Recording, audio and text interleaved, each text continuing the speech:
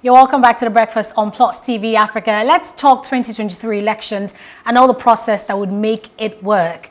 Um, the Independent National Electoral Commission, INEC, has announced that pre-registration exercise is complete. And of course, they are in the process of making sure that everything necessary um, for the 2023 elections is put in place. They announced that they have registered over 1 million voters in that exercise that ended the 21st of September 2021. Let's now invite our guest, a political activist Abiodun Oluwaseun. Good morning. Thank you for joining us. Good morning, moderator.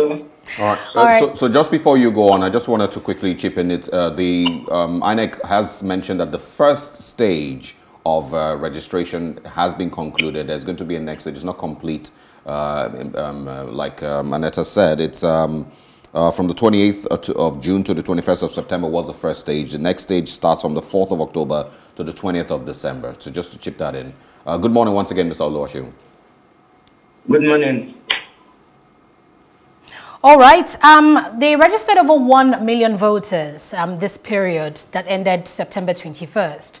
And there's been, you know, lots of talk about, you know, Nigerian youth going ahead to vote and, you know, taking it off Twitter um, into, you know, the polling units and all of that. Now, 1 million people and counting. Do you think, you know, the youth did, did you know, well to have voted as much as, you know, 1 million? Or do you think they could have done a lot? And if you think that, you know, the numbers could have been higher, um, would you say that's the faults of the youth who, you know, didn't turn up as much as they should have? Or maybe the fact that INEC didn't do a lot of sensitization regarding the election process?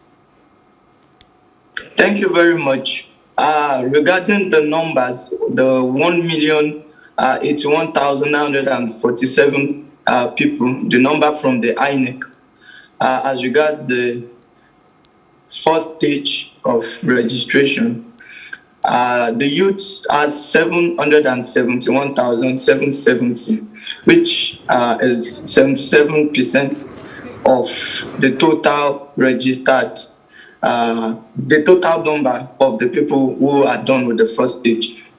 If we look at it critically, we will notice that even during this period, a whole lot of youth were not uh, they were not carried along. Just only few. If you look at the total number of youths in Nigeria, if there were, if INEC did proper sensitization and uh, a lot of publicity, a lot of awareness, voters registration and enlightenment and all, probably the number might have been higher. And as well, don't uh, there was a time they suspended it in between. They were having issues with the dates that they were given people. So uh, that also affected this number. I think they could have done better, but uh, this is the first time. So uh, the numbers are coming up. And I, I believe uh, probably when there is another uh, opening like this, uh, the numbers might do very, very well. Okay, well, what do you think our target should be uh, considering Nigeria's youth population. If we have only 700,000 uh, plus, you know, and that is with regards the complete registration now, um, there's still a, a, backlog of more than 2 million that, you know, very likely will add to this number. Um, if you're looking at the pre-registrants and then the completed registrations.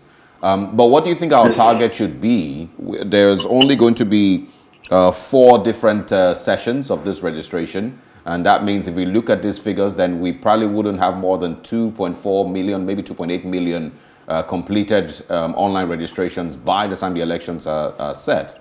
Do you think that's also very poor? And what should our target be heading to the 2023 elections, considering our youth population?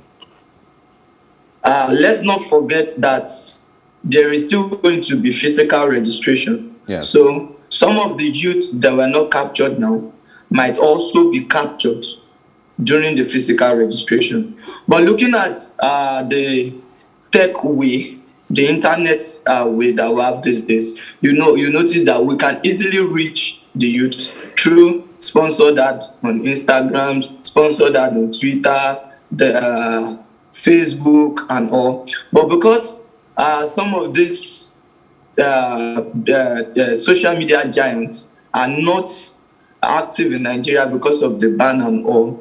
Uh, there are some of these are some of the issues that are affecting this number. If they did a proper, uh, let's say the way BBNaija does their promotion, their adverts, trend and all, use influencers, use everybody to make sure this to push the numbers. If we can have that uh, for the INEC pre-registration, I believe the numbers we're having now will be uh, will be maybe just a pint, I find a little pint out of what we'll be expecting. So probably we have a big awareness from DSTV to radio stations to newspaper to all these uh, big social media uh, platforms, I am sure we'll have a very huge number. But I still believe that since we will still have some of these youths to be captured through uh, the physical registration, the numbers might still improve. But if you look at the numbers of people who register for JAMB, numbers of people who register for all these stuffs online, there is high possibility that if we continue this way, the numbers might increase in subsequent registrations. So why would you think that the sensitization for these pre um, registration exercise was not as it should be, seeing that, you know, it's now an online process. Why do you think that, you know, it was not in our faces? I mean, did you scroll through Instagram one of these days and you saw, uh, you know, an advert, you know, asking you to vote and giving you directions to do that? Um, lots of Nigerian youth would, would say they didn't see anything like that. And in that case, is there any reason why we can justify it?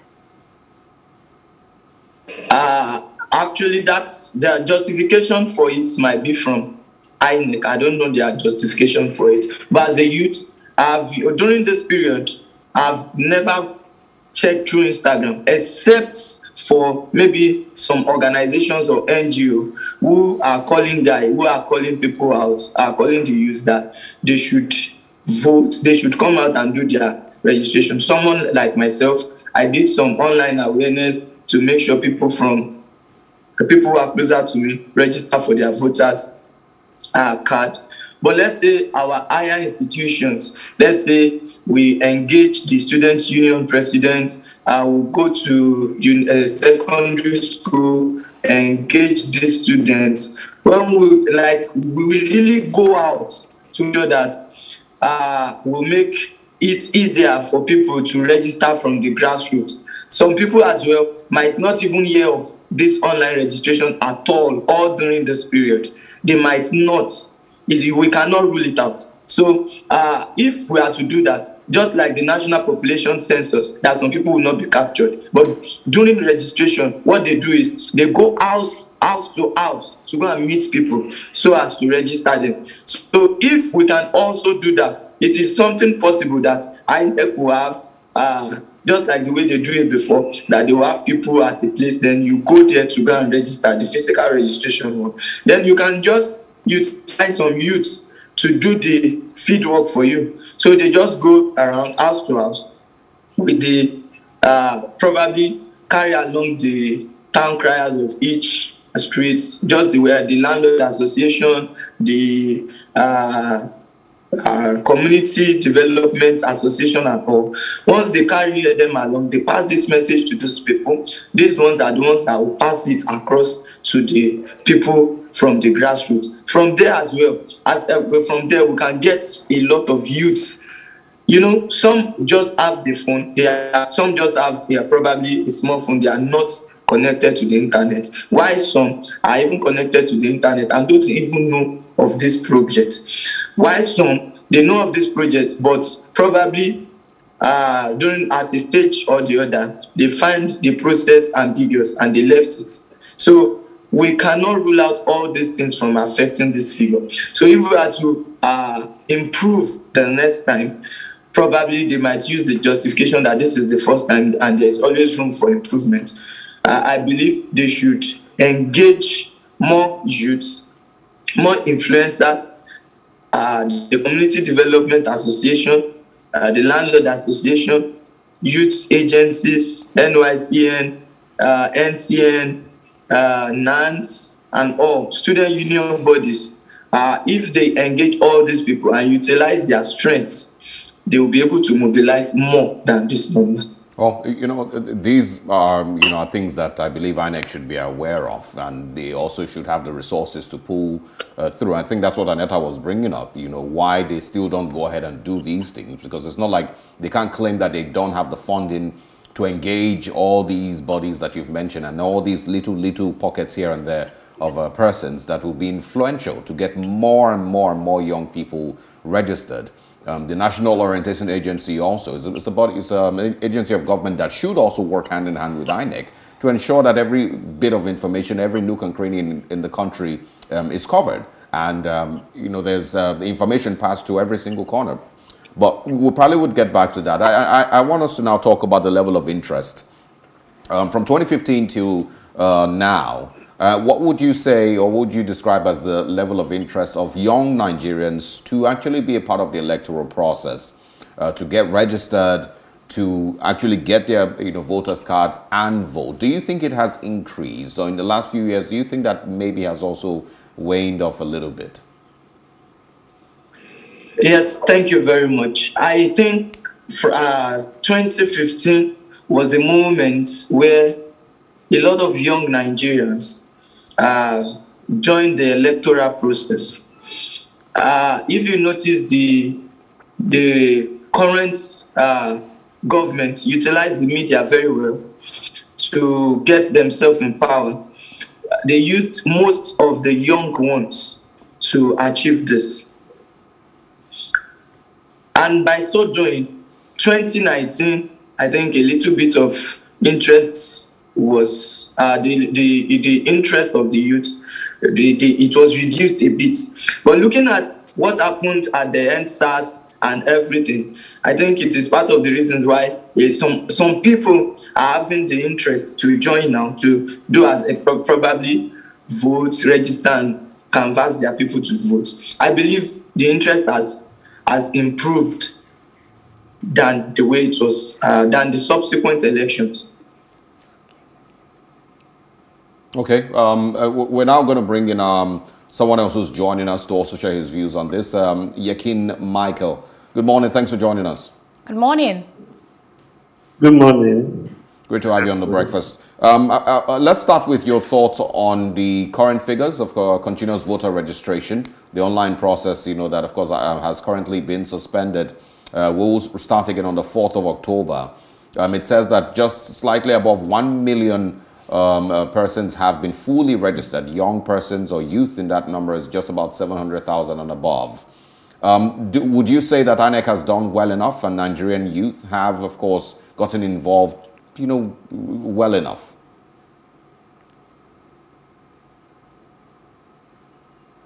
Mr. Michael, can you hear us?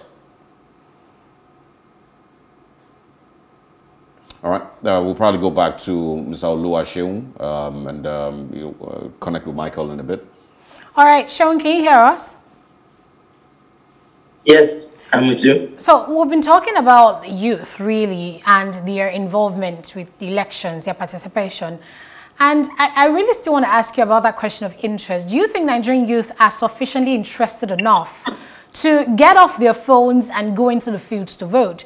Because when we look at, you know, what Nigerian youths talk about online, it really also revolves around politics. They talk about um, the failure of government, um, they complain about the leaders. So there's a lot of conversation about, um, you know, from the youths and about the youths regarding politics.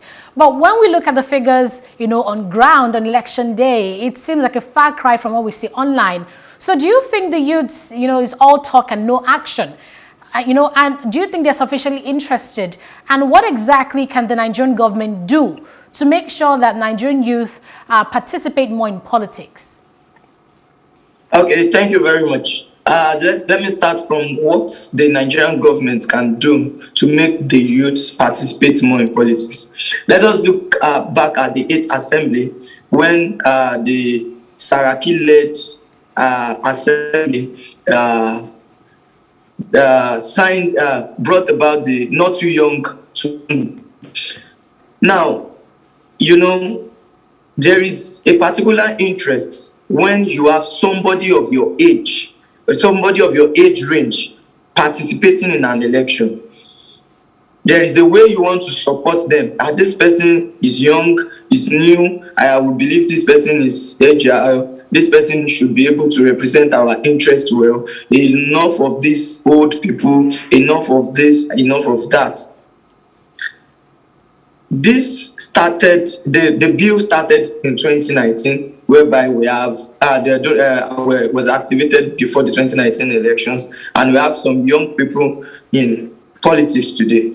Now, looking at 2023, by the time a lot of young people are being encouraged to contest and occupy particular posts in Nigerian politics today, let's say both parties, both APC and PDP or, or any other political parties, give more opportunities. Let's say out of the total number of people contesting in a political party, 40% are youth. For sure, those 40% will mobilize more youth to participate in politics for sure because those, those will be their immediate constituency. The youth will be their immediate constituency.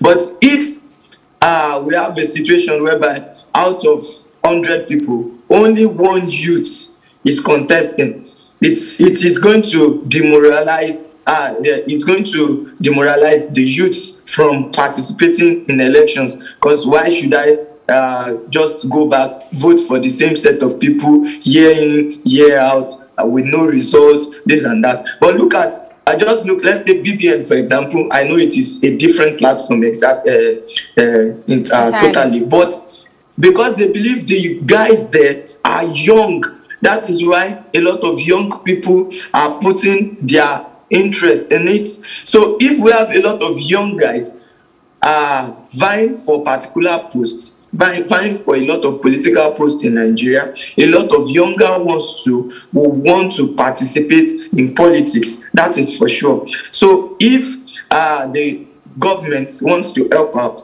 aside from the not too young to uh, run bill, they should also increase the quota given to young ones in each election. Let's say a state house of assembly should be limited to the age of uh, uh, 18 or 19 to 35. Then for the governorship and president should be limited to uh, 35 to 50.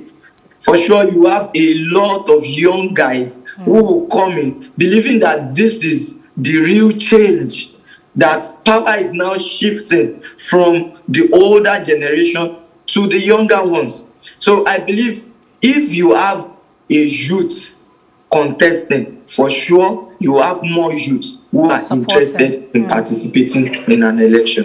Okay. All right. Now let's bring in uh, once again Yakin Mike. Uh, thanks for joining us once again. Thank you, sir. Good morning. Good morning. Right. So let's get your thoughts first of all on the whole process. Um, which has currently been um, or ended the first phase, and uh, you know we currently have one million eighty-one thousand plus uh, that have been registered. Uh, do you would you call this a, a success uh, for now?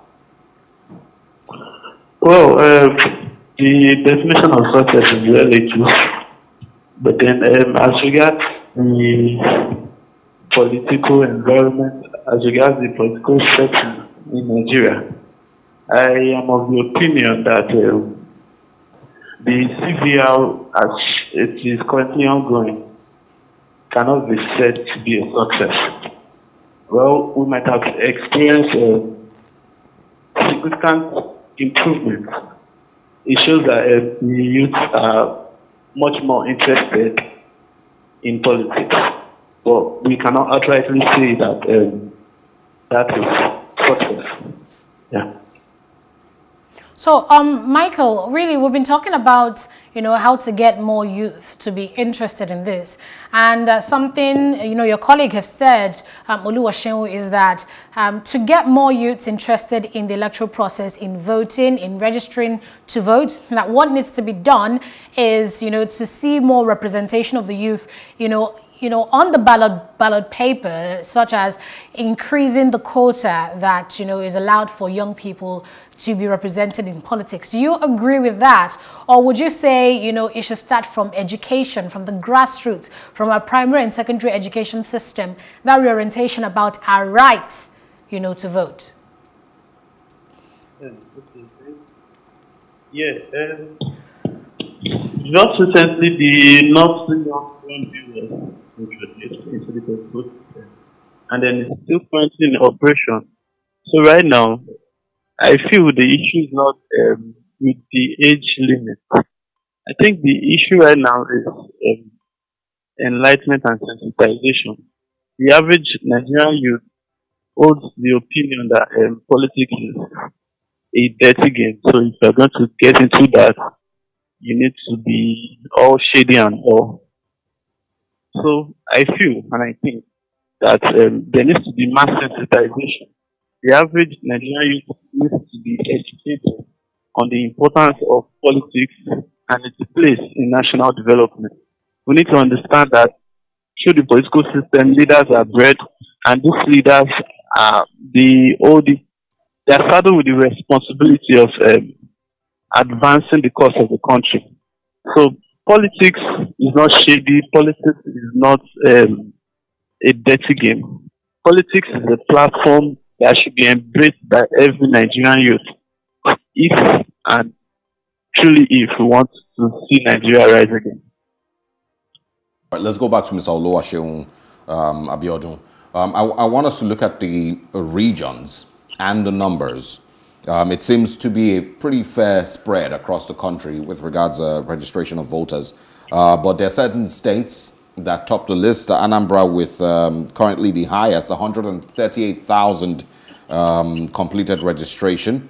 Um, we also have Osun State with 63,000 that have completed their registration. Kano, I think, is uh, third with 56,000 completed registration. Quickly share your views on how this is spread out in different regions. And, you know, Anambra State, uh, pretty impressive with its um, re registration, maybe because of the elections. Uh, I think, yes, yes, that we should put into uh, perspective the upcoming election yes. in Anambra and as well in Osun.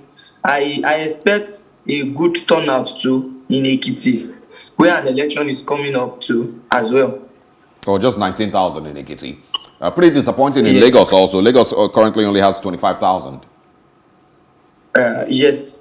Uh, so if we look at uh, Lagos, Oyo, Ondo, aside from Osun, Osun has, I think Osun has a lot of people who registered, but are yet to complete.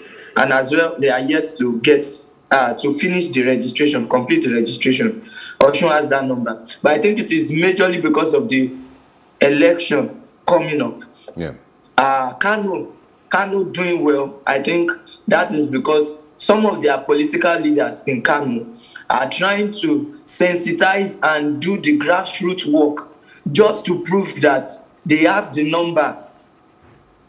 You know, mm. this, they have, this argument has been online that the number, the, uh, the South should have more number because we are closer to the, uh, the, uh, the sea, the ocean yeah. Uh, why those ones are the deserts? That why are they having more numbers? With a lot of proofs here and there.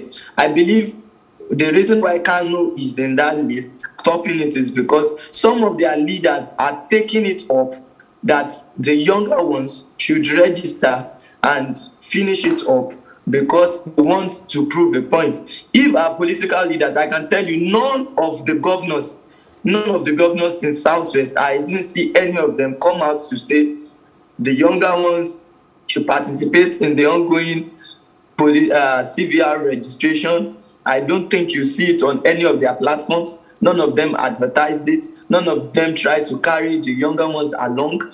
Not even some of their uh, aides. We don't even have them coming out to say, hey guys, register, try to facilitate more people to register. If we have these people if they do the same thing i know the reason why you know for sure because of the election political members political parties will try to register people so that uh, they will be able to vote for them in the election. But because of the other states that are not having election they just left it just there. They are not interested because election is not around the corner. I believe by the time inec starts the next uh, uh, the physical registration you will see these political parties coming out to tell people to go and vote, trying to canvass them, trying to say, uh, we'll take you there, we'll help you, we'll, uh, give you, uh, we'll give you an, a free access so that you'll be able to do it on time, get your uh, PVC on time, and all that. But that is because elections are coming and they are fast approach. But in the uh, case of Anambra and Osun, the months in between, uh, Anambra is November this year, Osun is also early next year. So we, I think it is because of the proximity to the election. That is why we have those numbers coming in. And for Kano, it is because they want to prove a point that they have the numbers, not just uh, the 2 million uh, KKK votes from Kano, Katsina, and Kaduna, that they have the numbers that they can, they are actually more than the people from the south. But everybody should be trying to prove that point, uh, not just um, you know those in Kano State or Katsina or Kaduna, like you mentioned. Yes, um, uh, should, but you it, it you, understand that the Northerners they, they tend to uh, be more involved in politics than some of us here from the south. Well, you know, still, you know, responsibility of those here. Um, uh, also, you know, for the people who are very, very active online, um, there should be a lot more energy. And once again, I would say I'm disappointed in, uh, a little disappointed with Lagos uh, numbers um, because of the population here and because the conversation here, you know, seems to be very, very um, loud. Um, Yekin Michael, I'm going to round up with you. Quickly also share your views on what your expectations are. There's still three more phases. Do you, um, you think that there would be many more people getting involved? Um, what more do you think needs to be added to ensure that we have maybe, hopefully, 10 million, 12 million online um, um, registered voters? Okay, then thank you very much. I think um, where we are can be um, accredited to the fallout of the Lekki Tollgate incident. So, as as we speak, I think the youth are much more interested in politics, but then um, there's still a lot to be done. For instance, out of the six geopolitical zones in Nigeria, the North account for a heavy chunk of electorate of so and then, I don't know if it's true or not, that's up for debate. But then we all know that um, there's still a lot of education that needs to be done to the people in the North. No offense to them. So I think there needs to be mass sensitization. I think the youth needs to be enlightened. There need to be proper channels and platforms for Nigerian citizens to get politically educated such that they understand the state, the state of Nigerian polity, such that they understand where they are coming in and when, they understand where they are coming from and where they intend to get to. If all of these channels and platforms are put in place, I think it might arouse the Nigerian youth's interest in Nigerian politics.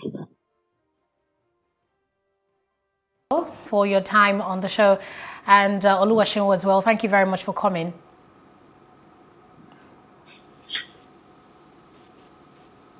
All right. All right. Have a great day.